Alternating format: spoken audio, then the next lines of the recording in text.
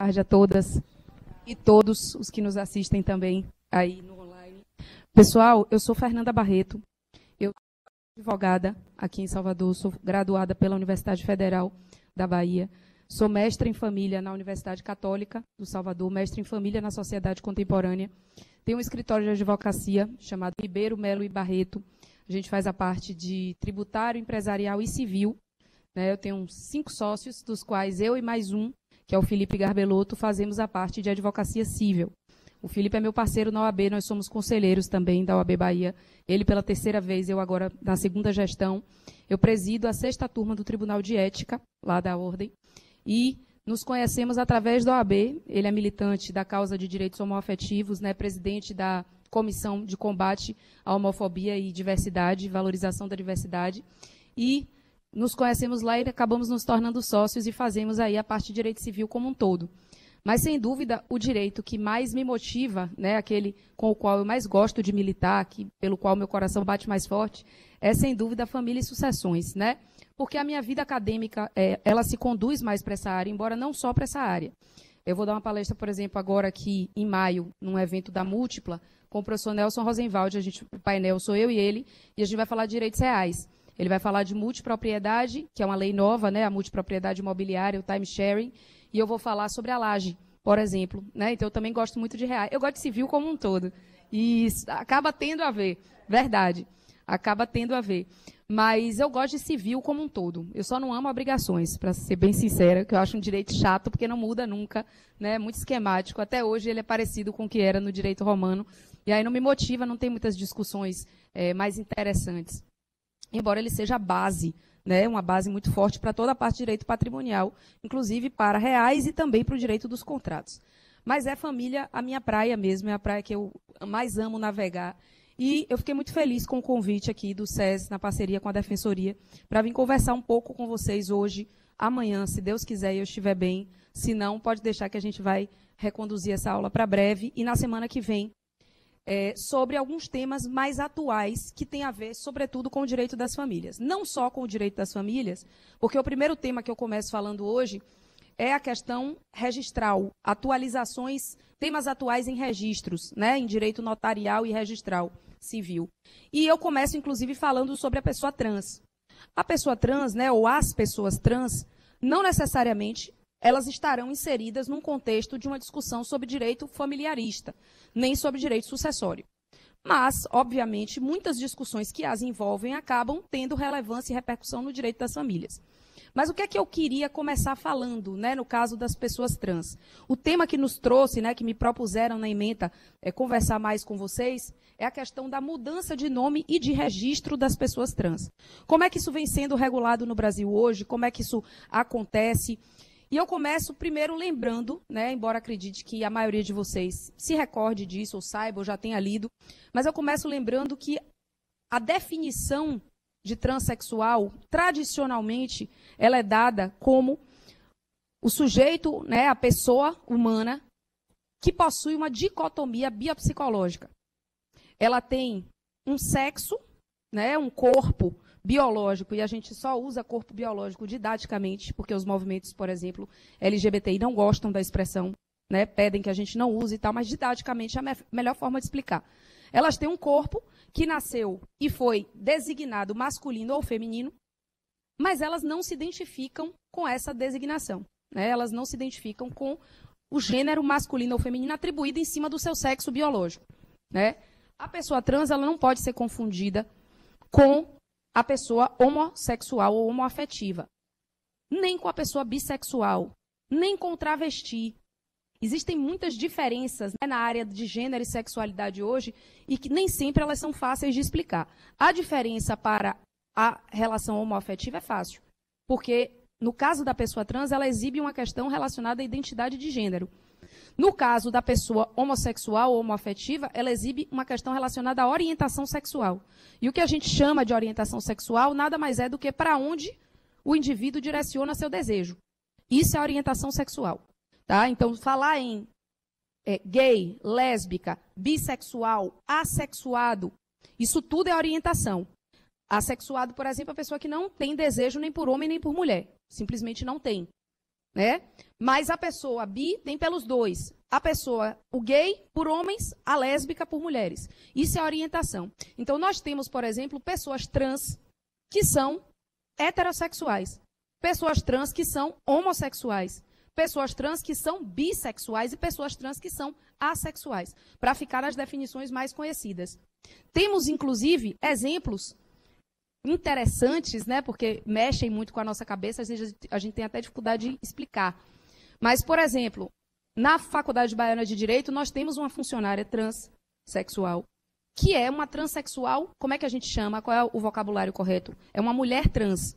É o vocabulário que hoje os movimentos sociais adotam, porque vocês sabem, vocês já devem ter percebido que muda muito. Né? O vocabulário se altera com frequência. Me recordo de uma palestra que eu fui dar na ASP, em São Paulo, na Associação dos Advogados. Um cara me interrompeu três vezes para corrigir as terminologias. Até a hora que eu virei para ele e falei: Ó, eu tenho ciência. Mas a gente precisa adotar uma terminologia e seguir a partir dela, porque elas mudam com muita frequência. Essa que eu estou adotando aqui é a terminologia mais usada pela ONU. Ah, mas não é a terminologia usada pela Associação das Transsexuais assim de São Paulo. Eu digo, é, mas eu não tenho como dar conta dessas mudanças tão, tão frequentes e que variam, inclusive, de instituição para instituição. Porque hoje são várias as instituições que militam né, pela causa das pessoas trans, são muitas. Mas, enfim, é, essa nossa funcionária, que é minha amiga, inclusive, ela é uma mulher trans, porque ela nasceu com um corpo biológico de homem, fez a transição de gênero, tá? E ela namora um homem trans. Ela namora uma pessoa que nasceu biologicamente mulher e fez a transição. Aí você poderia, né, pensar, ah, então na verdade é um casal hétero tradicional. Sim, é um casal hétero, mas não é um casal hétero cis-normativo. É um casal hétero transnormativo. Né? O que a gente chama de. O que gente, não é para confundir, é para tentar esclarecer, na verdade. Né? É porque, de fato, são muitos conceitos. Mas o que a gente chama de cis é o contrário do trans. É a pessoa que se identifica com seu corpo biológico. Né? Então, eu sou uma pessoa cis. Hum? Nós, né, que, a, que, a, que a gente veja aqui, estejamos vendo, somos pessoas cis. A gente se identifica com o nosso corpo. A pessoa trans, ela não se identifica. Ocorre que as questões em torno da pessoa trans eram mais simples, digamos assim, do ponto de vista objetivo, quando você tratava da questão trans apenas como uma questão médica. E nós só conseguimos passar a admitir, nós, Brasil, passar a admitir as cirurgias transgenitalizadoras, que são as, as cirurgias de transição para alterar o sexo biológico, nós só passamos a admitir em função desse enquadramento da transexualidade como uma patologia. Tá? Então, foi graças à ideia de que a, a transexualidade é uma patologia médica que nós conseguimos, apesar do artigo 12 do Código Civil, que diz que ninguém pode dispor da própria integridade física se isso gerar uma diminuição permanente dela, porque o artigo diz: ninguém pode dispor da própria integridade se isso contrariar bons costumes ou gerar uma diminuição permanente dessa integridade. Então, com base nesse artigo, as cirurgias transgenitalizadoras eram vedadas no Brasil. Nós temos várias decisões pré-2005 que proibiam, que diziam que o Código Civil não permitia que aquilo era lesão corporal. Se o médico operasse, ele estaria amputando órgãos saudáveis, porque a mulher trans, ela amputa, em regra, quando faz a cirurgia, o pênis e os testículos, e o homem trans, ele amputa ovários, útero e muitas vezes seios. A maioria das vezes, né? Então, são órgãos saudáveis, biologicamente são. E, por exemplo, existe uma figura, que eu não sei se vocês já ouviram falar, chamada amputees by choice, amputados por escolha, tá? A gente discute essa figura em aulas de direitos da personalidade, na parte de direito civil, no começo do curso, por exemplo, de direito. O amputees by choice é um sujeito que não se conforma com um órgão saudável que ele tenha no corpo. E ele quer a amputação desse órgão. Uma orelha, uma perna, um braço. A gente conhece o Empties by Choice, mesmo sem saber o nome, no caso das costelas, que vocês já devem ter ouvido falar de mulheres que tiram costelas para ficar com a cintura mais fina. Isso seria um exemplo. Tá? E isso, estricto senso, não estaria autorizado pelo artigo 12.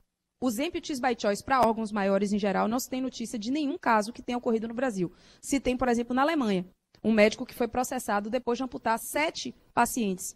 E a, o argumento dele era: eles me diziam que se eu não realizasse a cirurgia, eles iam se auto-mutilar ou se matar. Porque eles não tinham, mas eu considero, pelo meu parco conhecimento, né?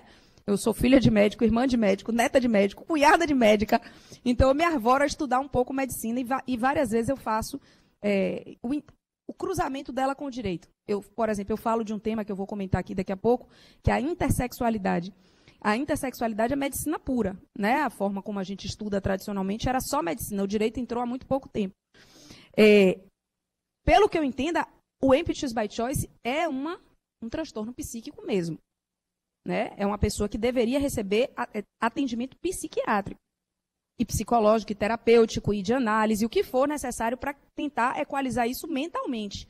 Porque não faz sentido aqui para nós. Mas, eu digo a vocês, com a sociedade que a gente vive, os padrões tão rígidos de beleza, de estética que a gente tem, há uma tendência a questões como essa começarem a aumentar. Porque, por exemplo, a gente sabe que casos de anorexia e bulimia em meninas muito jovens têm sido cada vez mais comuns, né, de transtornos alimentares em geral, mas esses que chegam a levar à morte né? Tem sido coisas frequentes. Mas, enfim, o artigo 12 impede o amputado por escolha, mas o transexual não é um amputado por escolha. Aí é que está. Toda a doutrina acerca do direito à saúde e à integridade e à dignidade da pessoa trans se construiu no direito, defendendo que ela tem uma doença, que ela tem uma patologia e que por conta dessa patologia ela entraria na exceção do Código Civil, no artigo 12, que diz com exceção ou salvo, na verdade usa a expressão salvo, por exigência médica.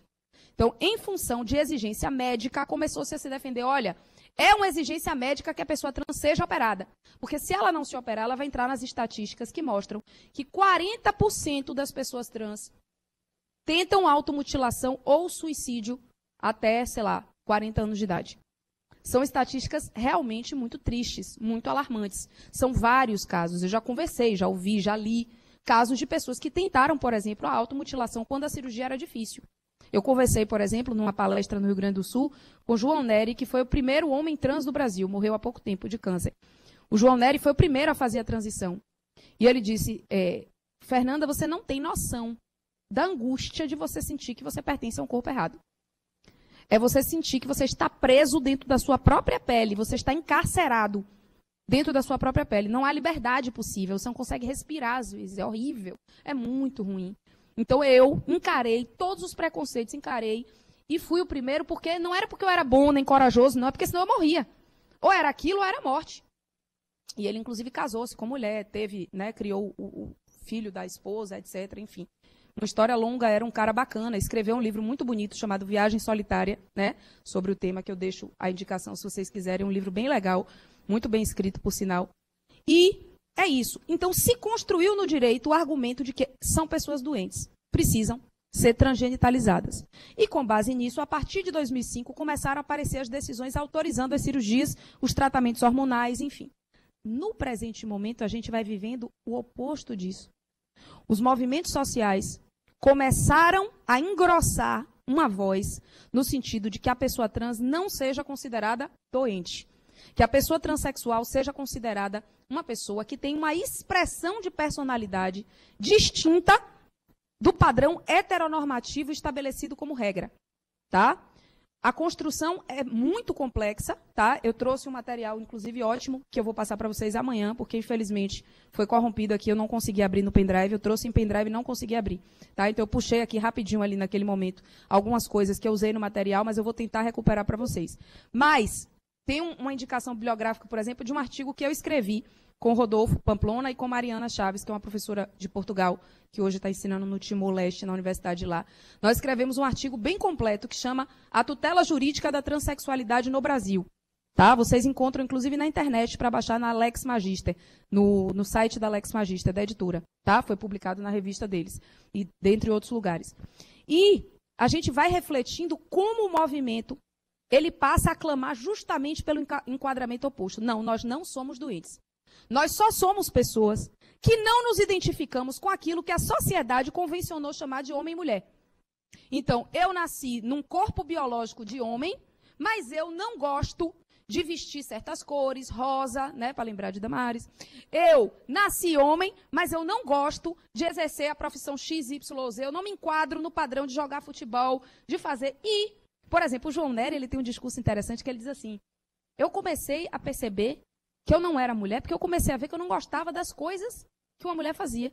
Na minha época, né, ele morreu com setenta e tantos anos, na minha época, uma mulher não podia frequentar as festinhas, não podia fazer isso, não podia fazer aquilo. E eu nunca me identifiquei, eu era muito livre. Eu tinha muita vontade de ganhar o mundo, de viajar, de fazer coisas, de trabalhar. O padrão da minha época era mulheres, né, deviam casar, ter filhos, era aquela coisa. É interessante para você ver como, de fato, na cabeça dele, o não enquadramento começa com a categoria social mulher. E não com a questão com a vagina em si. Né? Não uma questão, porque, por exemplo, a mulher trans, ela não resolve o problema do órgão genital. O homem trans resolve, a mulher trans não resolve. A cirurgia de transgenitalização para sair de mulher e, entre aspas, virar homem, ela não é, em regra, bem sucedida. Muito difícil. No Brasil, só pode ser realizada por hospitais universitários. Hospitais escolas, como o Hospital das Clínicas. Mas aqui na Bahia, que eu saiba, não se faz. Por exemplo, eu sei que o Hospital das Clínicas de São Paulo faz. Só que você tem que construir um pênis. Imagine a dificuldade que é construir um pênis, um órgão que é extremamente inervado.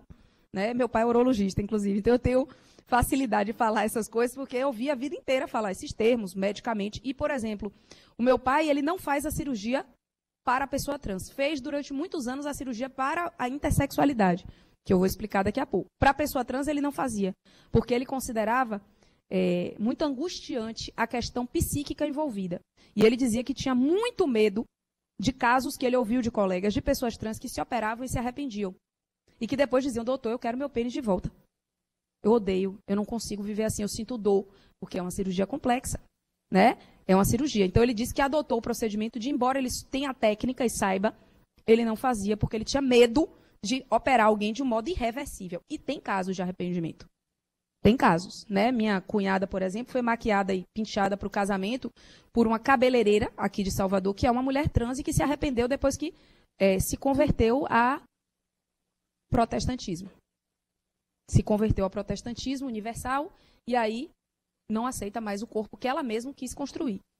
É né? uma coisa muito complexa, bem complexa mesmo. Ninguém tem dúvida que é.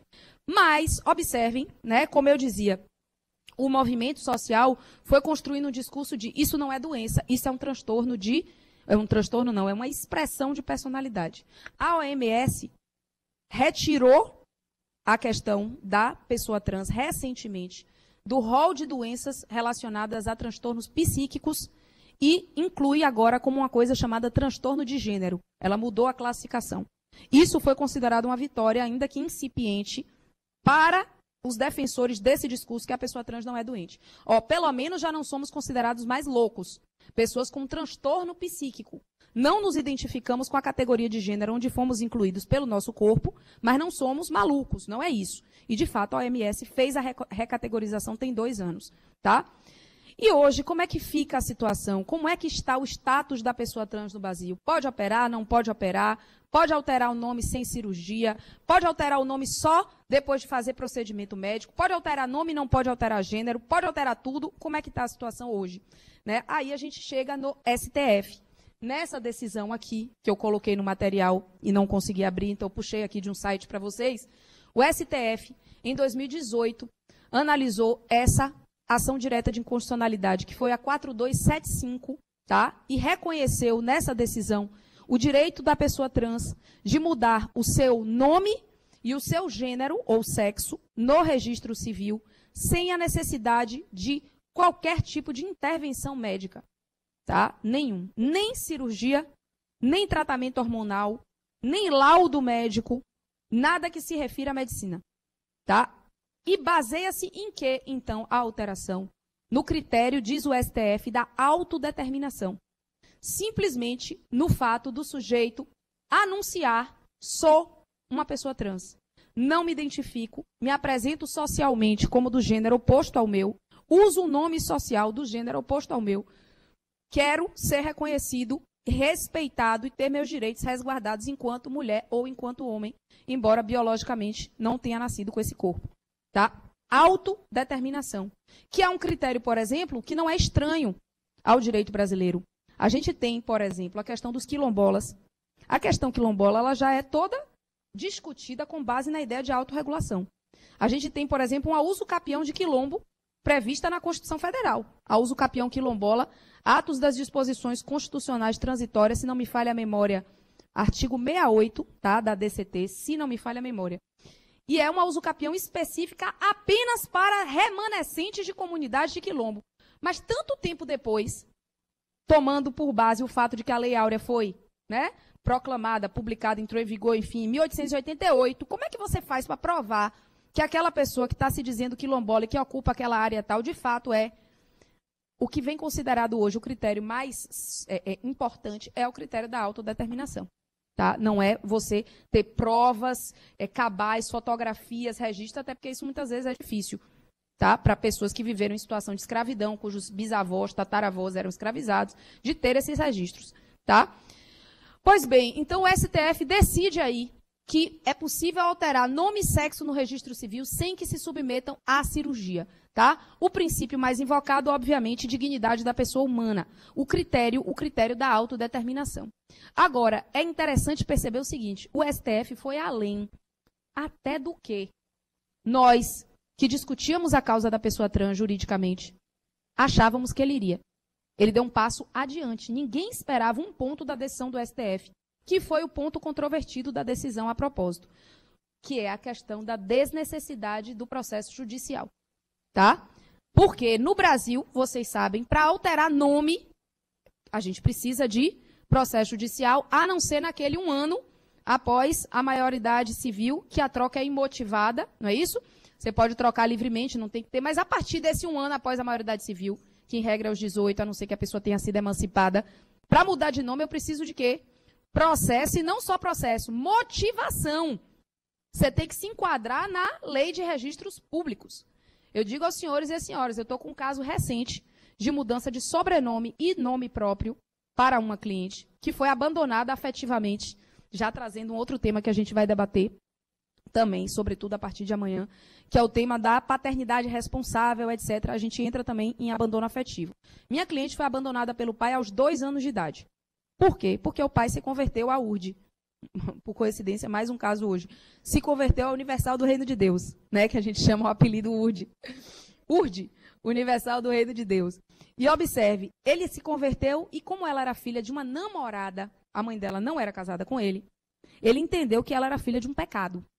Botou na cabeça, ele é estrangeiro, não é daqui, botou na cabeça que ela era filha de um pecado e nunca mais deu as caras para essa menina desde que ela tem, que ela fez dois anos de idade. Ela foi minha aluna, né, na Unifax, onde eu dou aula, só dou aula de graduação lá.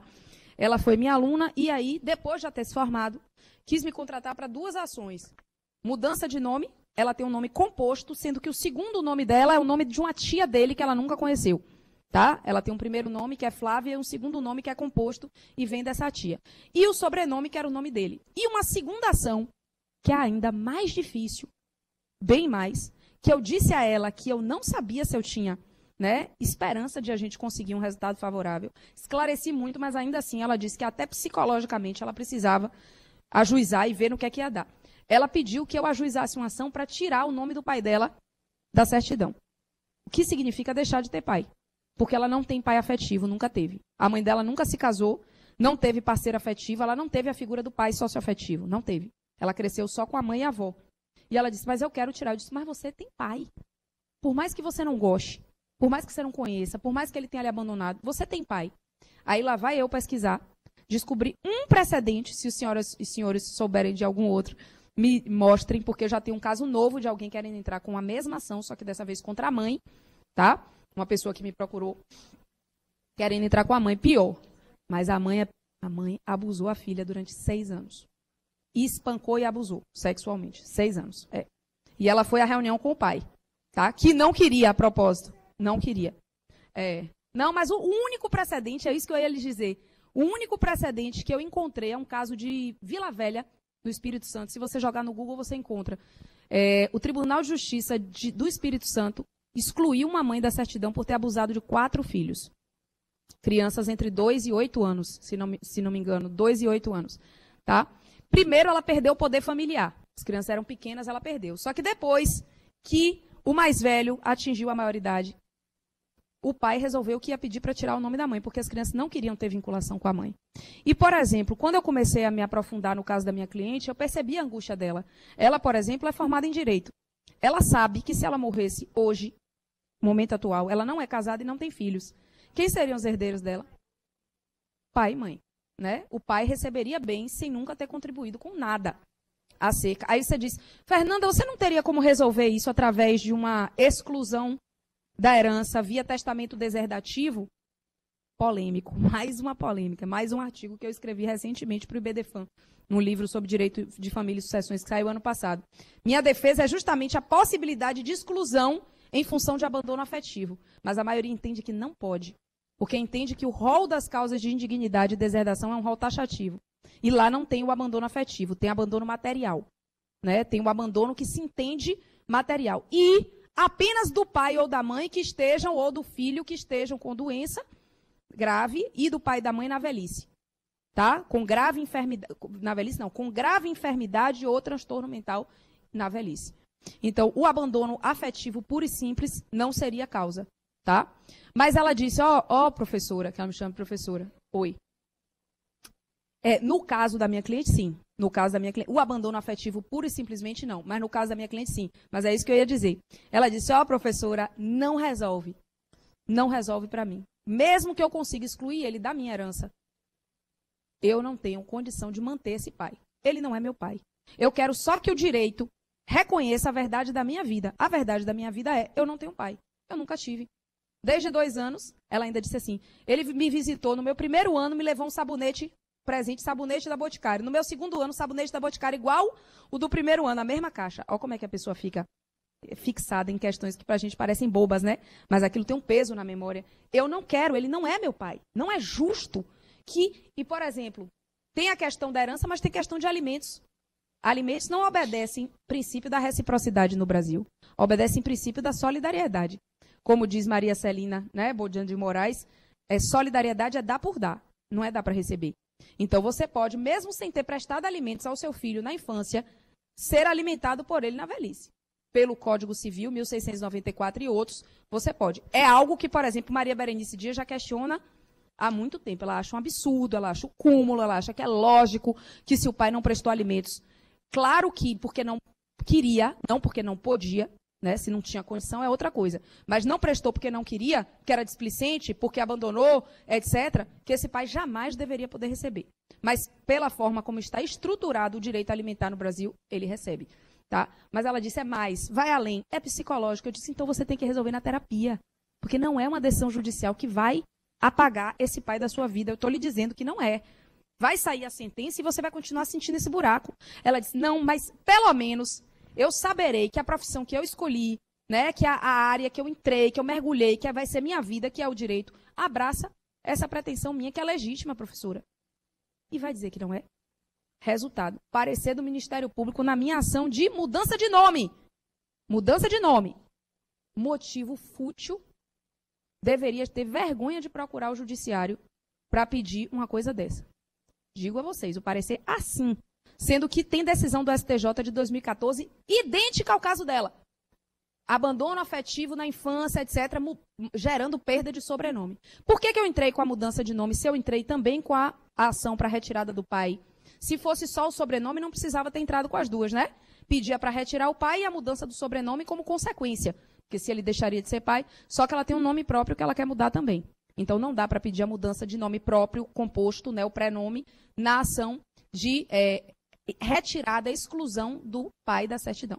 Mas para vocês verem, uma operadora do direito que não entendeu aquilo como uma coisa relevante, disse não está na lei de registros públicos, não está na LRP, de fato não tem a previsão expressa. Mas a própria LRP permite que o juiz, no caso concreto, autorize mudança de nome em situações que não foram legalmente previstas porque a vida é muito vária, muito ampla, a gente sabe, e podem acontecer situações.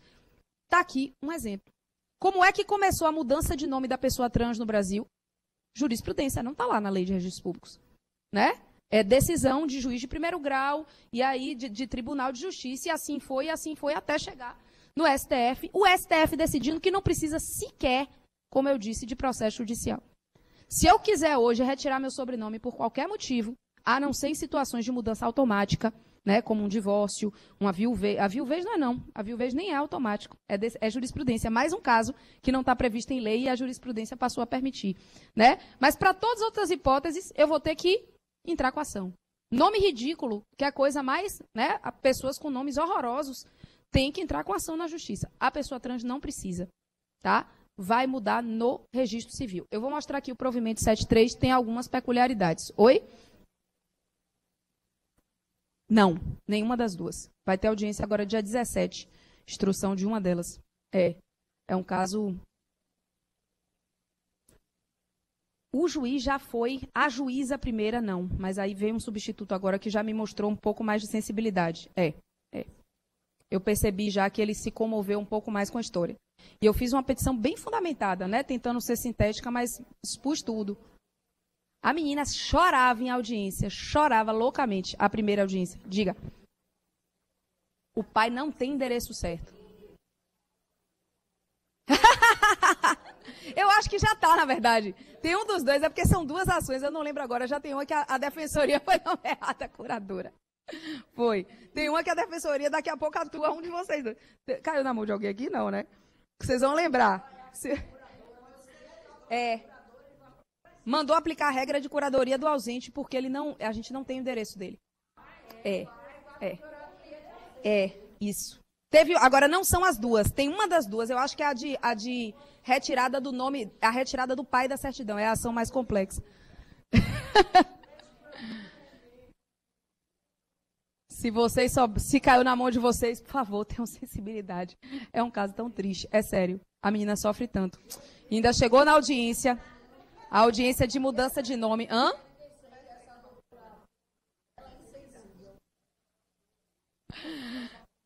Essa foi. Deve ser, porque é... não teve nenhuma nesse caso. E na audiência foi pior. A gente fez uma primeira audiência da ação de mudança de nome. A menina chegou arrumadinha, vestida, mas estava arrumadinha. Ô doutora, ela virou para a juíza. A senhora deferiu gratuidade e justiça nesse processo. Porque estava ela e a mãe desempregada quando a gente entrou com a ação. As duas. A mãe, que era empregada de uma empresa há anos, perdeu o emprego e ela não tinha conseguido se colocar no mercado ainda desde a formatura, né? Formada há pouco tempo, não tinha se colocado. Doutora, a senhora pediu, a senhora deferiu gratuidade e justiça. A senhora tem certeza que precisa? Aí a juíza olhou para minha cliente, olhou a roupa, falou: Onde foi que você estudou? No Anchieta. Faça constar em ata que estou no Anchieta. Onde é que você se formou? Unifax. Faça constar ata que estou na Unifax. No processo tem que você saiu do Brasil três vezes, não foi na adolescência? Por quê? Porque eu juntei, é, eu mandei desarquivar os processos da vara de infância e juventude, porque ela precisou de autorização do juiz para sair do país, porque o pai não era encontrado em nenhuma das vezes, né? A mãe teve que contratar advogado para poder conseguir a autorização. Ah, ela saiu do Brasil três vezes, foi para Disney, foi para Argentina, foi para fez intercâmbio, faça constar aí. Revogo a decisão de gratuidade. Minha cliente quase infartando, querendo matar a juíza, fuzilando e eu beliscando a perna da cliente, botando a mão aqui. Porque, tipo, não vai adiantar. Não é, não é assim que vai resolver, né? Mas foi horrível, a primeira audiência foi horrível. Enfim, ainda bem que ela saiu, agora veio o juiz substituto, que parece que é mais legal para a gente fazer a instrução com ele. Enfim, mas observe, é, existe essa questão, né? E é relevante, porque muita gente vem questionando por que a pessoa trans vai conseguir mudar em cartório sem autorização, enquanto todos os outros casos, casos muitas vezes dolorosos, complicados, precisarão de processo judicial, tem que se submeter a isso. O argumento principal é um argumento mais sociológico do que jurídico, que é o fato de que esse é um grupo extremamente vulnerável de pessoas, né? Normalmente pessoas muito sofridas, boa parte delas de classes econômicas, né? Mais baixas, vulneráveis mesmo, e que são pessoas que enfrentam muitos desafios, muito muitos preconceitos. Eu vou citar a vocês só dois casos recentes de polêmicas envolvendo a pessoa trans. Dois casos bem recentes. Um, ontem, um deputado em São Paulo, não sei se vocês viram isso, um deputado do PSL, disse na Câmara dos Deputados que se ele encontrasse uma pessoa trans num banheiro, se uma mãe ou uma irmã dele estivesse num banheiro e uma pessoa trans estivesse usando, uma mulher trans estivesse usando esse banheiro, ele ia invadir o banheiro, arrancar a pessoa a tapas e chamar a polícia. Nesses termos, eu tinha trazido aqui o trecho da notícia para vocês verem, carta capital. Nesses termos, isso numa discussão sobre um projeto de lei de outro deputado, nos debates sobre um projeto de lei de outro deputado, que propôs, esse outro deputado, um projeto de lei para impedir mulheres trans de competirem, pessoas trans de competirem nos esportes, no time do gênero ao qual se entendem pertencentes. Aí vem a segunda questão que eu ia dizer. Primeiro é o uso dos banheiros, segundo é a pessoa trans nos esportes. Toda a polêmica em cima daquela moça, Tiffany, que é da seleção de vôlei, e o Bernardinho fez aquele pronunciamento, que foi bem criticado e tal. Como é que se resolve? São dois casos, eu admito, complexos. Eu não digo que são casos simples, não. Tá? Não digo. Porque, observe, a questão do banheiro, de fato, para algumas pessoas soa esquisita, incômoda. Eu vou ter, eu sou mulher, eu vou ter num banheiro né, feminino, um homem usando esse banheiro, e se houver uma questão de abuso? E se ele estiver indo lá para poder. Gente, é, evitar 100% esse tipo de situação não tem como. Eu vou dar vocês um exemplo recente. Eu estava dando aula tem duas semanas para o pessoal do TRT, né, para os servidores e alguns juízes do TRT, num após com a Baiana também. E uma, um servidor me conta de um caso que tramitava na vara dele, de um funcionário de uma empresa que colocou uma câmera escondida no chão, não sei como foi que ele conseguiu fazer, de um banheiro e filmou todas as funcionárias da empresa indo ao banheiro. Não era pessoa trans, não estava autorizada a usar o banheiro, foi lá e fez. Então, 100% de segurança a gente não tem como ter em situações como essa. Agora, o que eu posso dizer é o seguinte: uma pessoa se declarar trans, se revelar trans, passar a adotar roupa, nome, comportamento do gênero oposto só para fazer isso, eu acho muito improvável. Porque é um grupo de pessoas socialmente discriminadas, excluídas, vítimas de violência. A pessoa trans, ela. Excepcionalissimamente. Isso, gente ruim, né? Gente com intenções maldosas, você vai ter em todos os lugares em todos os grupos, mas alguém que vai se declarar trans só para poder entrar no banheiro. Agora, por exemplo, casos aconteceu em Londres, enfim, na Inglaterra, o caso de uma pessoa trans que foi colocada, uma mulher trans que foi colocada presa, presidiária, em é, na prisão, na penitenciária, na ala de mulheres, na penitenciária feminina, e abusou de outra presa. Abusou de outra presa. E depois se descobriu que, na verdade, era um homem que já tinha condenação por crime sexual né? E provavelmente, provavelmente fez tudo isso para poder, enfim. Né? Então, dizer que não é possível acontecer. Agora, você pense o seguinte, faça o seguinte exercício. Imagine os colegas que são homens, estão no banheiro masculino e entra uma mulher trans. Vou lhe dar um exemplo de mulher trans que você conhece. Mas só para você fixar, entra a Roberta Close. Toda bonita, toda bem vestida, com cabelo aqui, eu dei uma palestra outro dia com Márcia Rocha, que é a primeira advogada trans do Brasil. A primeira a conseguir um AB com nome social, né? É, ela era mais feminina do que eu. Ela tinha a unha mais comprida do que a minha, estava de mini saia, com saltão. E ela nem quis mudar os documentos. Ela não mudou o registro porque ela é empresária. Além de advogada, ela tem uma empresa de transportes há muitos anos. Tem uma filha e disse que não queria, por conta da questão burocrática, alterar tudo da empresa dela, que ia dar um trabalho miserável que ela não ia fazer, e por conta da filha. Ela disse: Ah, Fernanda, eu não resolvi bem na minha cabeça como é que vai ficar minha filha. Se minha filha vai ter, se eu vou continuar sendo pai, se eu vou ser colocada como mãe, isso é uma confusão para ela, eu preferi não fazer, não fiz. Mas ela era mais feminina do que eu. Imagine essa mulher entrando num banheiro de homem. Um banheiro masculino de um aeroporto, de um shopping. A gente teve um caso aqui no Shopping Barra, né? que lojistas quiseram se unir, fizeram um abaixo assinado para uma lojista trans não poder usar o banheiro feminino do shopping. E o shopping não permitiu. O shopping fez uma nota, isso antes bem da decisão do STF, ó, uns três anos antes. O Shopping Bar fez uma nota dizendo que não aceitava, porque todas as pessoas tinham direito à dignidade, e se aquela pessoa se entendia mulher, ela ia frequentar o banheiro onde ela se sentia bem, onde ela se sentia pertencente e tal. Então, visualize né, uma mulher toda vestida, ou um homem trans como tem vários, né? O homem trans é um fenômeno que ficou conhecido depois. Mas se você for ao Instagram, por exemplo, que é uma rede social hoje muito popular, e você colocar a hashtag FTM, faça essa experiência, hashtag FTM, que significa Female to Male, você vai ver mais de um milhão, eu não estou exagerando, é mais de um milhão de postagens de homens trans homens trans na academia, malhando, homens trans. E aí você vê que são. Eu estou vendo o nosso aluno pequeno ali ouvindo isso tudo, mas acho que não entende, não, né? Nosso aluno ali atrás, acho que não, não pega, não, as informações, não, né? É, De vez em quando acontece de entrar na sala criança eu fico sempre prestando atenção no que é que eu estou falando. É, com mastectomia, as imagens, né? Você vê a cicatriz, mas com pelo no peito, com testosterona.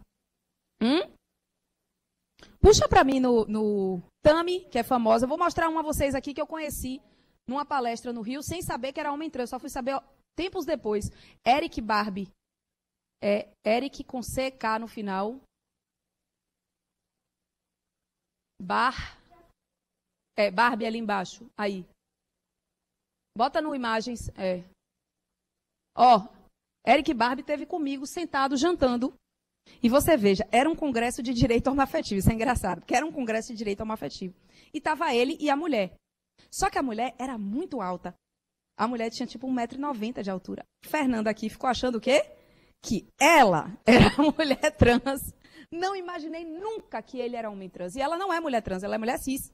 Ainda bem que eu não perguntei. Lógico, né? Nessas horas é melhor ficar calada. Fiquei quieta, não sabia. Ele é homem trans, eu não imaginei nunca. Porque é muito masculino. Careca. A testosterona perdeu cabelo, barba grande, careca, tudo. Só era mais baixo, mas estatura é uma coisa que varia, não tem nada a ver, né? E a mulher grandona era a mulher cis. Enfim. Imagine Eric Barbie frequentando um banheiro feminino. Já imaginou essa figura aí? Bota mais foto. É um homem. É um homem. Ó, pense aí, você no banheiro feminino e ele entra.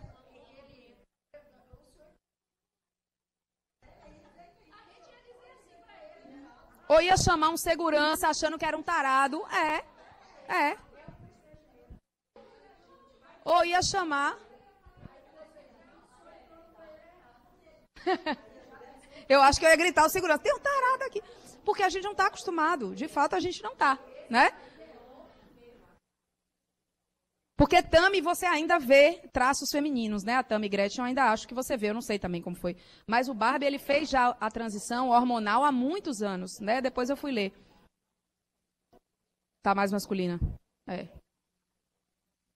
Observe, e aí, como é que fica o uso do banheiro? Então, quando a gente pensa, é bom a gente visualizar no que é que a gente está falando, né? A gente está falando de gente, de pessoas.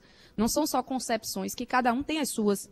E eu sei, e eu tive dificuldade muito para formar minha posição acerca da questão dos banheiros. Porque eu ouvi de muitas mulheres, pô, Fernanda, mas eu não me sinto segura. Eu tenho medo de ser vítima de um abuso, de ser vítima.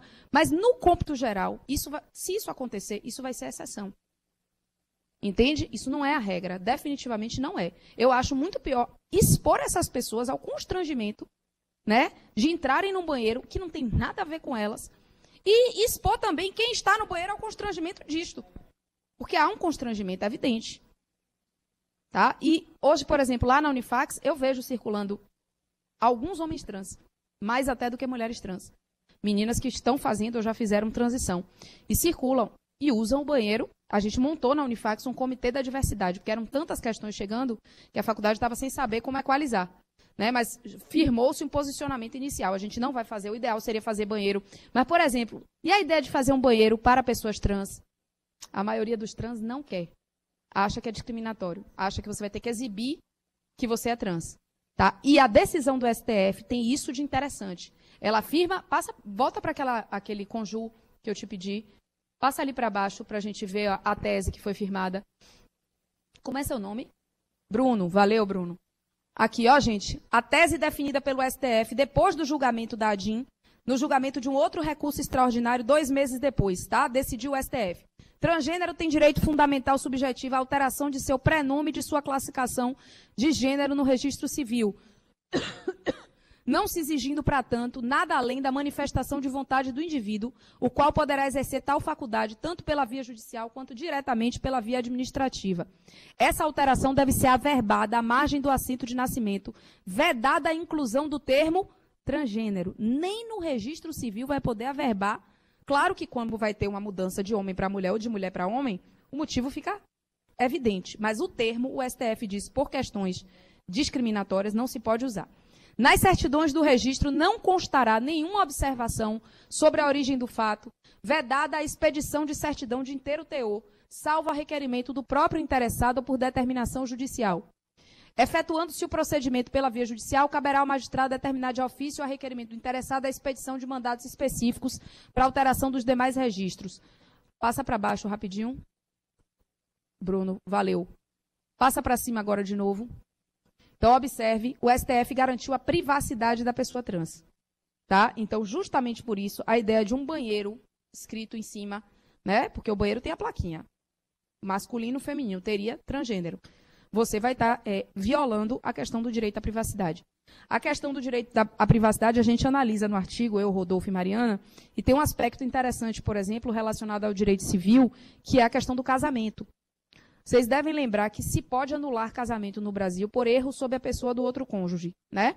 As causas de anulação estão lá no artigo 1550, 1550, são seis hipóteses de anulação de casamento, uma das quais por vícios do consentimento, erro ou coação.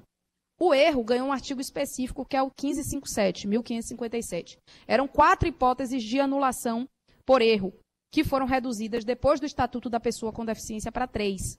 Porque uma das hipóteses era pessoas com transtornos mentais, tá? Que você descobre posteriormente uma doença mental grave, e isso não pode mais ser causa de anulação por conta do estatuto. Hoje você anula casamento no Brasil por erro sobre a pessoa nas seguintes situações: erro sobre a identidade do outro cônjuge, sua honra ou boa fama. É o inciso 1 do artigo 1557. Por exemplo, um estelionatário que se apresenta com uma identidade falsa, né? Namora uma moça e se casa com ela. Erro sobre a pessoa. Um caso interessante que é a questão dos gêmeos, que eu sempre falava em sala. Todo livro de civil traz a hipótese dos gêmeos. Um gêmeo que se casa e, na verdade, ela namorava com o outro. E eu sempre dizia, isso parece exemplo de direito penal, né? Aquela coisa que mais estapafúrdia que você só está no livro. Vocês viram a decisão do, de ontem ou anteontem? Os gêmeos do DNA, gente. Aquela ali, eu digo a você que eu, eu não esperava nunca na minha vida que aquilo fosse nem possível. Na minha ignorância, eu não sabia que o DNA pode ser idêntico a outro. Idêntico! Car um cara começou a namorar a moça, sair com ela, só que os gêmeos, era gêmeo univitalino, e ele e o irmãozinho tinham desde a adolescência o hábito de trocar mulheres sem avisar. Eles, né? Um namorava e o outro aparecia dizendo que era o namorado e era, na verdade, o irmão gêmeo. Para ter mais mulheres, segundo a decisão judicial, e para encobrir traições. Resultado, a moça teve relação sexual com os dois, sem saber que era com os dois, achando que era com um só, ficou grávida, ingressou com a investigação porque o cara não assumiu, o cara fez o DNA, mas disse: é o outro, é meu irmão. Eu não me recuso a fazer, mas é meu irmão. Aí o irmão foi chamado, não se recusou, fez também DNAs praticamente idênticos. 99,9% nos dois casos. Qual foi a decisão? Os dois são pais. E ambos vão pagar pensão alimentícia. Eu nunca sonhei com a possibilidade de multiparentalidade genética. Amanhã a gente fala de multiparentalidade. Existe a multiparentalidade de um genético com socioafetivo ou de dois socioafetivos. Mas dois genéticos, pluriparentalidade genética, eu não achava que fosse possível e já temos um precedente aí, tá? Uma decisão, na verdade. Enfim, observe o seguinte. É... Por que, que eu falei disso? Do que foi que eu estava falando antes? Encadeei o pensamento. Eu gosto tanto desses temas que aí eu vou puxando e colocando um dentro do outro. Me lembrem. Erro sobre a pessoa. Obrigada. Exatamente. Seria uma hipótese, se não fosse a paternidade, seria uma hipótese, caso eles tivessem casado, trocado, né? Um apresentou-se como o outro, como noivo e se casou, seria um caso de anulação. E nesse inciso primeiro, muita gente questiona. E a pessoa trans? Se a pessoa trans fez a transição e não revela que fez, e casa-se como se fosse do gênero oposto. Né? Ela se apresenta como Maria, namora com João como Maria, nunca conta a João que um dia ela foi Mário. João se casa com ela. Pode João anular o casamento com base no inciso 1 do 1557? O que é que vocês acham? Questão complicada. A maioria entende que sim. Porque, por exemplo, isso afetaria radicalmente o projeto parental. Tá? Poderia afetar o projeto parental. Se é, por exemplo, uma mulher trans, ela não tem útero, não, não tem como ela gestar. E o cara queria ter filho. Mas Cristiano Chaves, por exemplo, há muitos anos já defende que não poderia ser causa de anulação, que deveria ser causa de divórcio. Porque ele entende que isso seria é, a abertura para uma discussão que, que é preconceituosa. Porque a pessoa trans tem direito à privacidade. E o STF confirmou esse posicionamento dele, não sobre a anulação, mas confirmou que ela tem direito à privacidade. A decisão do STF diz que a pessoa trans não é obrigada a sair contando que ela é trans. Ela só conta quem ela quiser. E eu concordo com isso, né? Ela só conta quem ela quiser. Mas, se você interpreta o artigo 1557, ele diz: erro é aquilo que já existia antes do casamento, só foi descoberto depois e torna insuportável a vida em comum. Eu entendo que pode tornar insuportável para alguém que não sabia. E como não existem direitos absolutos, né, no Estado democrático de, de direito, só pesando, eu acho que, eventualmente, depende da situação, pode ser que se autorize uma anulação. As diferenças práticas não são tão relevantes assim, né? Mas há, por exemplo, a diferença do Estado civil. Se anula, você nunca você não é divorciado, você volta a ser solteiro ou viúvo que você era antes, né? A questão patrimonial pode ter repercussão também, enfim. É, pois bem, joga para mim, Bruno, aquele é, provimento 73 do CNJ. A decisão do STF foi de março, tá, de 2017, fevereiro ou março, e ainda não, é, esse é depois. Pronto. Aumenta um pouquinho a letra, tem como? Ctrl mais. Aí, Bruno, o mais. Pronto. Bota no artigo primeiro. Em junho, o CNJ regulou a questão do procedimento cartorário. Né? O IBDFAM endereçou pedido de providências e o CNJ regulou. Mas regulou de uma forma que tem sido extremamente criticada. Eu tinha trazido aqui, é uma pena que o arquivo não abriu, mas eu tinha trazido aqui duas críticas muito contundentes. Uma de uma oficiala de registro, que é bem conhecida nessa área, que é membro do IBDFAN, chamada Márcia Fidelis, e o outro de Maria Berenice, né? Ambas metendo o pau no procedimento, no provimento, dizendo o quê? Que ele veio por uma boa causa, que era necessário regular, mas que ele é um provimento preconceituoso e desconsiderou mais de 10 provimentos estatais que já existiam dos tribunais de justiça de estados, tá? Já existiam, Bahia ainda não, mas já existiam em vários estados, certo? e que ele desconsiderou e adotou regras da cabeça deles, lá no CNJ, e que essas regras são preconceituosas. Eu vou mostrar por quê. Mas vamos lá. Está aqui.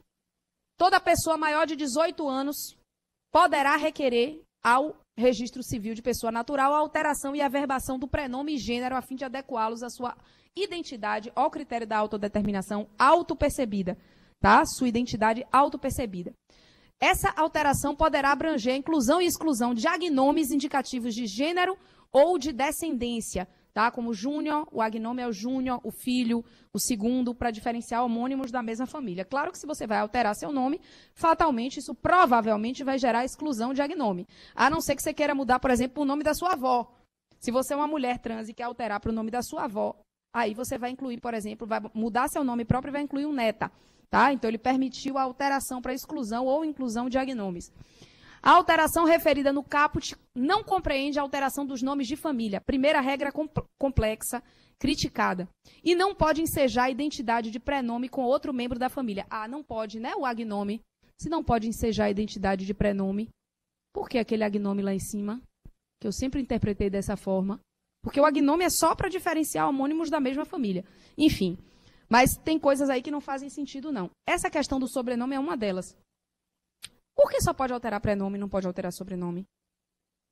Ah, porque o sobrenome indica a sua origem familiar. Tá. Mas se você quer aproveitar e tirar um sobrenome com o qual você não se identifica, né? O que ela diz, por exemplo, Maria Berenice, é: no caso da adoção, não muda, não pode mudar tudo? Prenome e sobrenome? Tudo bem que no caso da adoção você vai estar mudando né, a família. Mas existem outros casos que você pode alterar o prenome. Você pode incluir o, o, sobrenome. Você pode incluir hoje o sobrenome do padrasto, por exemplo. Aquela lei que foi chamada Lei Clodovil, né, porque foi proposta pelo Clodovil. Ele permite que você inclua, sem virar filho, sobrenome de madrasto ou padrasto a partir dos 18 anos e desde que eles concordem. Se eles concordarem, é processo judicial. Você tem que entrar, mas você pode incluir. Eu tinha, por exemplo, aqui uma aluna que defendeu, muito antes do STF reconhecer a, a multiparentalidade, ela defendeu, acho que em 2007 ou 2008, quando eu dava aula na Baiana, um TCC, na Baiana não, nessa época foi na Unijorge, era professora da Unijorge. Ela defendeu num TCC dela a possibilidade de que ela recebesse o sobrenome do padrasto, porque ela tinha sido criada por ele, se identificava como filha e não tinha uma solução para a questão. Ela queria ser filha, Mas já que não havia solução, pelo menos que ela acrescentasse o sobrenome. Né? Ela acabou até publicando a, a dissertação dela. Eu posso até falar o nome porque é um caso que ela publicou, ficou conhecido. Ela era enteada do Sérgio Barradas Carneiro, tá? Chama Aline Barradas. E ela queria acrescentar o sobrenome e não tinha o sobrenome até então. E aí depois veio a Lei Clodovil e tornou isso norma, a partir de 2009. Você pode acrescentar mesmo sem ser para virar filho. Depois da decisão da multiparentalidade, eu nem sei se ela já fez o acréscimo dele como pai, porque hoje ela poderia, tá? Inclusive como a gente vai ver amanhã em cartório. A alteração referida no caput poderá ser desconstituída na via administrativa mediante autorização do juiz corregedor permanente ou na via judicial. Então, observe, isso aqui, há uma grande preocupação do provimento, e isso é normal, com evitar as fraudes. Né, as alterações para finalidades fraudulentas, para lesar terceiros, etc. Então, ele já avisou aqui que a alteração pode ser desconstituída, tá? tanto em via administrativa quanto por via judicial. É, passa aí Bruno, para mim, por favor. Espera aí, rapidinho. No artigo 4 mais uma vez, o critério da autodeterminação, ó, será realizado com base na autonomia da pessoa requerente, a vontade de proceder à adequação da identidade mediante a averbação do prenome, do gênero ou de ambos. Você pode mudar só um ou pode mudar ambos. O natural é que mude ambos. Porque se você está indo um registro civil, né? Para de Maria passar a se chamar Mário, de Joana passar a se chamar João, não faz sentido nenhum que o seu gênero não corresponda. Eu, particularmente, entendo que a mudança deveria ser obrigatória. Porque eu acho que existe a regra de que o registro civil deve espelhar a verdade real, né? Não tem esse, esse princípio que rege as situações registrais. Como é que você vai ter nome que é tradicionalmente associado a um gênero e o gênero na certidão de outro? Eu acho que isso gera uma certa confusão. Entendo que se a pessoa quer mudar, deveria haver uma mudança coerente com os dois, tá? Mas tá aí, pode não mudar os dois se não quiser. O atendimento do pedido apresentado independe de prévia autorização judicial ou da comprovação de realização de cirurgia de redesignação sexual ou de tratamento hormonal ou patologizante, assim como da apresentação de laudo médico ou psicológico. Tá? Então tá claro, não precisa de nenhum documento de médico, de psicólogo, nem de sentença. Tá? Você consegue diretamente no registro civil. Aí tem questões burocráticas. Passa para baixo, Bruno. Pronto. No, artigo, no parágrafo 6 você tem a quantidade de documentos que se exige. E aí reside a maior crítica feita ao provimento.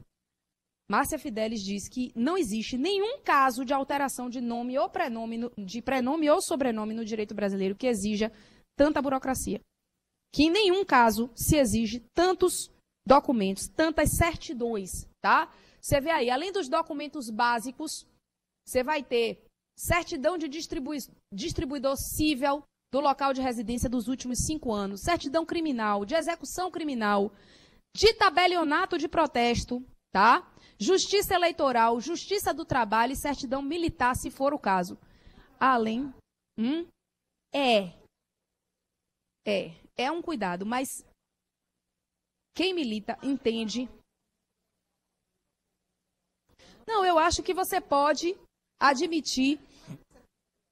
É, o intuito basicamente é esse, né? Mas a militância LGBTI e as pessoas da área jurídica que trabalham com isso entendem que, é, que há exigências excessivas, que você não precisaria disso tudo. Que, por exemplo, a publicação né, é, é, informando da mudança, etc., supriria. Mas, por exemplo, a publicação de editais não é possível, por conta da questão da privacidade. Em, em outros casos, você manda publicar editais, né, para informar e evitar lesão a direito de terceiros. Aqui você não pode fazê-lo. Eu entendo os dois lados. Acho que esse é um dos pontos mais complicados. De fato, há uma exigência maior do que para qualquer outra mudança. Hum. Isso tudo é para mudança em registro. Hum. Ah, sim. Não, não tem. Não tem. Por nada. Por exemplo, aquela mudança maioridade civil dos 18 aos 19, você pode mudar. Eu tive uma aluna, por exemplo, que mudou de Osmilce, o nome dela era Osmilce. Ela não gostava, o apelido era Mi, e aí ela mudou para Milena, quando fez 18 anos. Mudou com simplicidade. Não se exige nada disso. Entende? É por isso que se pontua aqui e tem um viés. Mas, por exemplo, é isso. Mas, por exemplo, você muda dos 18 aos 19, você pode mudar. Você se chama Maria e você não gosta, quer se chamar Adriana. Vão. No, numeração de documentos, sim. Não se altera. Tá? Numeração, não. Vai se alterar o nome. Isso aí.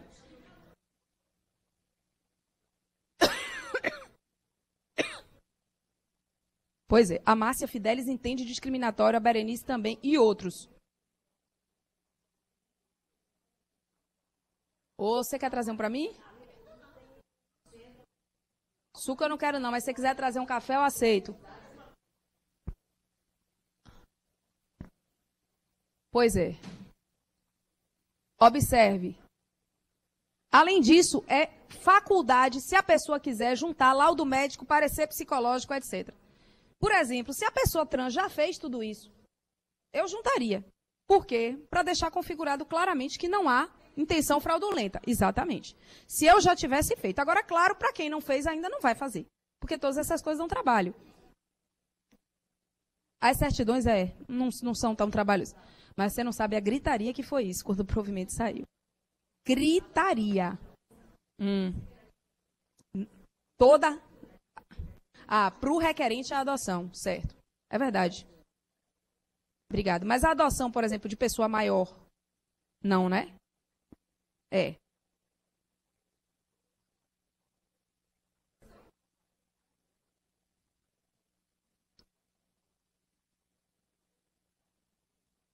Eu vou ver se eu trago amanhã a fala para vocês verem.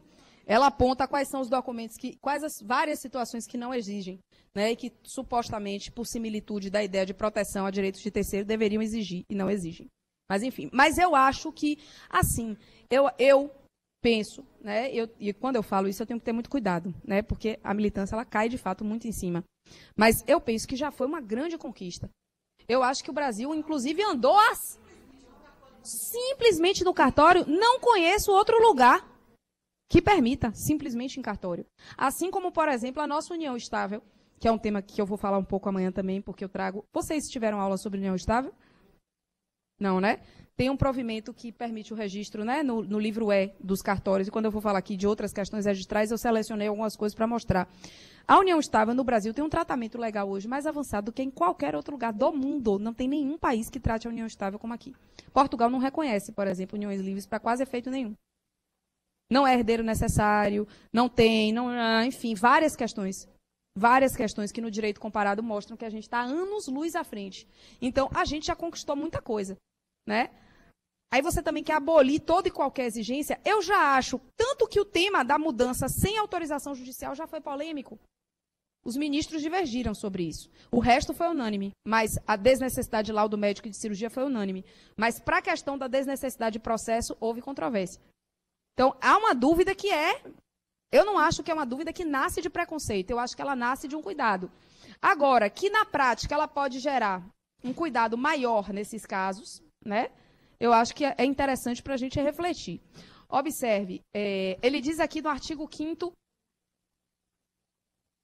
que a alteração tem natureza sigilosa, certo? Razão pela qual a informação a seu respeito não pode constar de certidões de assento, salvo por solicitação da pessoa requerente. Então, se você quer que alguma certidão sua conste que você mudou, ou conste que você é transgênero, isso deve constar, mas você tem que requerer ou por ordem judicial.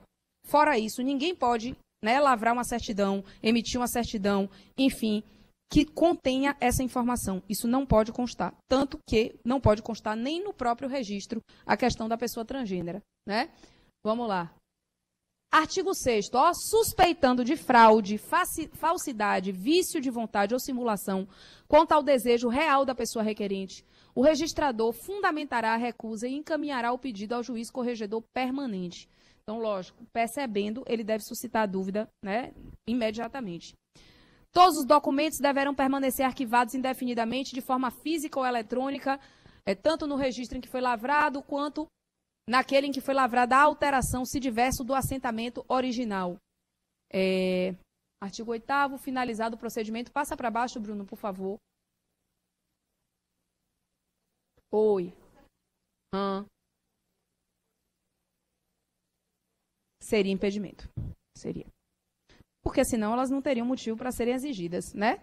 Então, o que deve acontecer é que o oficial deve apresentar ao juiz para que se decida em cima daquilo se se prossegue ou não. Na, na verdade, ela não impede de per si. Ela não, ela não impede de per si, mas ela é exigida por algum motivo.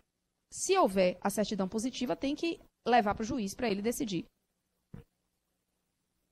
Não. A razão pode ser impeditiva, porque pode estar sendo Sim.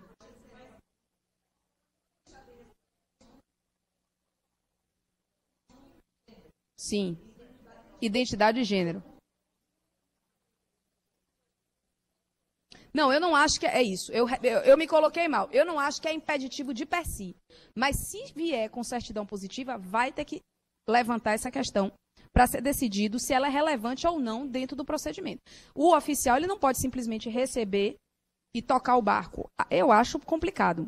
É que é tudo muito novo, tá, gente? Eu não tenho conhecimento de nenhum caso ainda, por exemplo, em que tenha havido esse problema.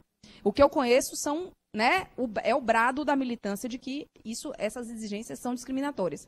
Não conheço nenhuma pessoa trans ou dos movimentos LGBT, inclusive na área jurídica, pessoal todo da comissão do OAB, todo mundo acha que são exigências indevidas. Eu fiz o questionamento. Em reunião nossa eu fiz. Eu falei, gente, mas tem que ter cuidado mesmo. Porque você vai desaparecer uma pessoa que, tudo bem, vai ter os documentos lá, mas os documentos portáveis, etc., você não consta a informação de que ela foi outra pessoa. Né, para uma pessoa que vai começar a se relacionar e tudo mais. Então, é uma coisa que precisa ser vista com cautela. O direito deve ser resguardado, sim. Eu acho que a decisão do STF é boa. Eu acho que ela é uma decisão importantíssima. Mas acho que a coisa toda vem envolta em cautelas que eu acho que são prudência. Não me parece de per si preconceito. Não me parece.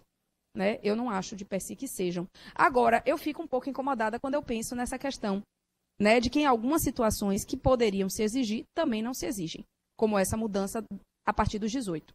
Você não precisa apresentar isso tudo para mudar e você simplesmente muda radicalmente seu nome. Pode mudar radicalmente. É a partir dos 18? Dos 18 aos 19 é judicial? Eu acho que não. Eu acho que dos 18. Eu nunca fiz, mas eu acho que dos 18 aos 19 é em cartório. É, é o único. Eu acho que é livre. Eu tenho quase certeza, mas não tenho certeza não. É, porque é um prazo decadencial. É. Não, eu acho que não precisa, mas eu nunca fiz. Liceno Franca, eu nunca fiz. Provavelmente 7.3 do CNJ. Ele é de 18. Ele é de 18, de junho do ano passado. A decisão acho que é de março ou de fevereiro do, ST, do STF e ele é de junho. Isso. É, ele traz um modelo aqui, até ó, um anexo interessante em que ele traz um modelo de endereçamento de pedido de mudança de nome de gênero, etc. Passa para cima, Bruno, rapidinho, que tinha uma coisa que eu queria mostrar para eles aqui. Deixa eu ver se está aqui. Não, mais para baixo. Para os últimos artigos. 9 e 10. 7, 3. É.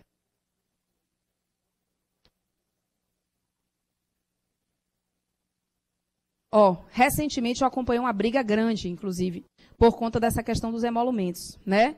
As pessoas trans pleiteando o direito de mudar sem o pagamento de emolumentos e custas cartorárias, alegando o quê? Que fazem parte de grupos vulneráveis e que não têm, em regra, condição de arcar com essas despesas. Então, que elas estão passando por problemas relativos a isso. E eu acompanho uma discussão, inclusive, com essa Márcia Fidelis, que é, é, é tabeliã e é, é oficial, na verdade, e é bastante engajada né, nessa seara. E ela disse: olha, o provimento diz que, enquanto não forem editadas normas específicas, aplica-se as tabelas é, normais, etc. E não há essas normas. Então, no presente momento, os tabelionatos e os registros têm que cobrar. Tá? Eles têm que cobrar por indicação lá. Mas as pessoas trans não querem essa cobrança, porque alegam, a gente não tem, a maioria de nós não tem condição de pagar, a gente não tem emprego formal em geral.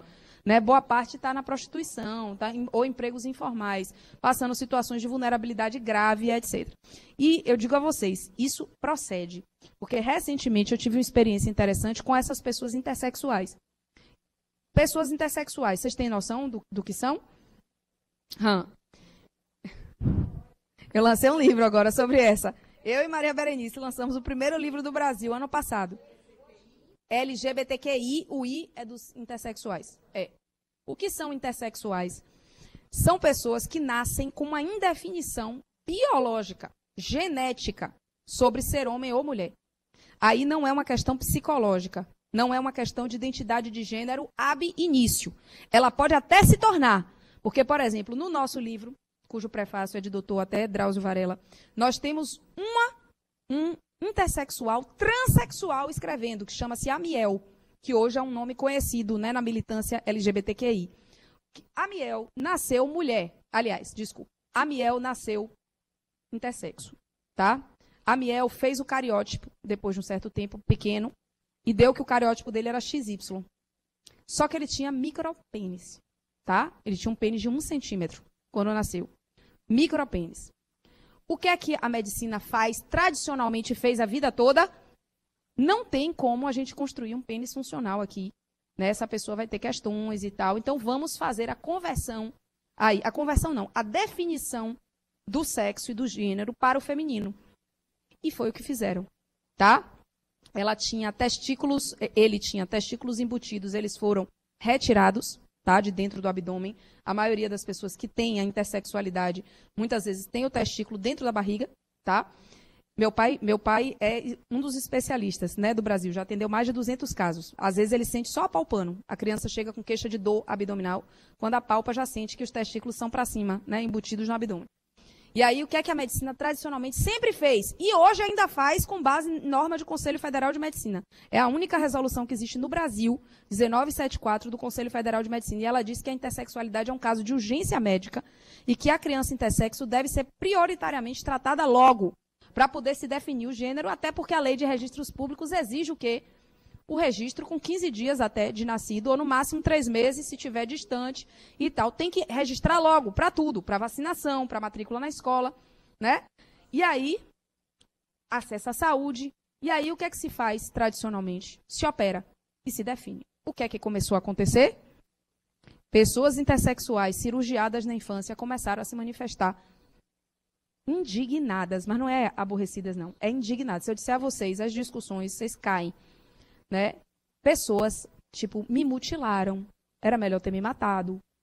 Eu fui mutilada, eu não reconheço esse corpo. O Amiel tem um. Agora filmaram um curta-metragem divulgado naquele canal Futura, a história dele. É muito triste de ouvir, de fato é.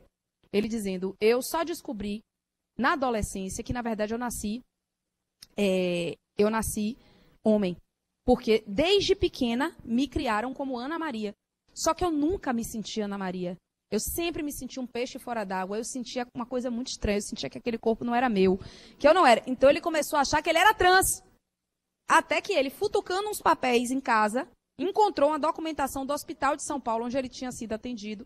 E ele constatou que ele tinha sido operado, cirurgiado, e ele não sabia de nada disso. Criança não sabia. E isso acontece. Sabe qual é a estatística para a intersexualidade? A mais conservadora é de que uma a cada duas mil crianças. A mais conservadora é muito, é mais do que o número de ruivos, mais do que o número na, na população mundial. Por isso que a gente lançou um livro, porque quase ninguém não precisa de, de processo, não. Tá vendo? Passado o período, qualquer hipótese, eu sei, dos 18 aos 19. Dos 18 aos 19 não precisa de processo. Isso. É, dos 18 aos 19, ou se você for emancipado um ano depois da emancipação. Isso. Basta chegar e dizer, vim mudar meu nome, quero mudar porque não me identifico. Isso, o prazo de um ano, prazo decadencial de um ano.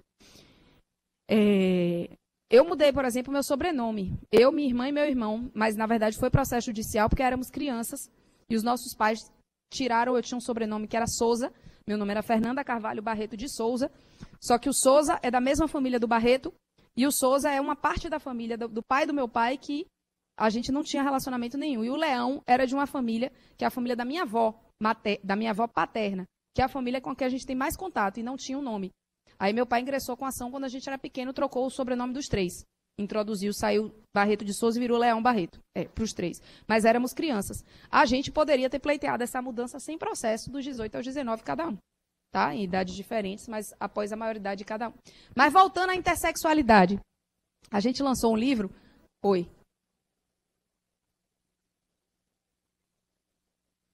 Essa do, da liberdade é? Ah, não lembrava disso não.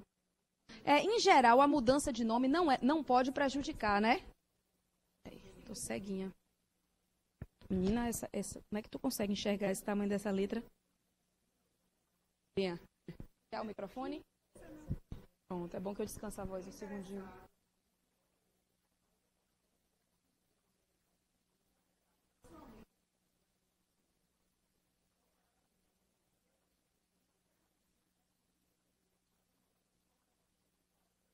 A gente poderia acrescentar o leão sem tirar o Souza. Sem tirar o Souza. Agora não sei, viu? Sabe por quê? Porque Souza e Barreto eram da minha família paterna. Porque essa questão de prejudicar a origem da família é, é, fazer com que você não se identifique, por exemplo, não possa ser identificada com seu pai ou com sua mãe. Mas quando você tem dois nomes de uma mesma família, você não prejudica a origem quando você tira um. Eu acho que talvez pudesse por isso, entendeu? O problema é você tirar os dois e ficar sem nenhum. Por exemplo, quando você faz a, o acréscimo na multiparentalidade, se é para acrescentar um pai socioafetivo, por exemplo, você pode fazê-lo até sem a concordância do biológico. Biológico não precisa aquecer, não. Agora, você não pode tirar o sobrenome dele. Porque aí você perde a identificação com a origem familiar. E se ele vai ser mantido como pai, porque não há aqui uma exclusão de paternidade, há um acréscimo de paternidade, a multiparentalidade, você vai passar a ter dois, você tem que ter sua origem familiar identificada com a dele. Mas se você tem um pai que você tem dois nomes dele, entendo que você pode tirar um. Certo?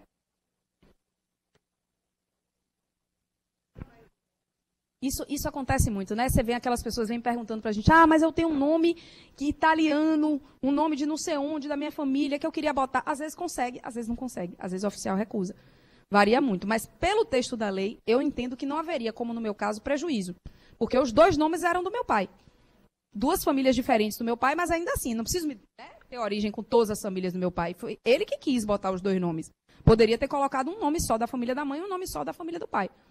Né? No meu caso, Carvalho é da família da minha mãe. Os outros dois eram do meu pai. E continuam sendo.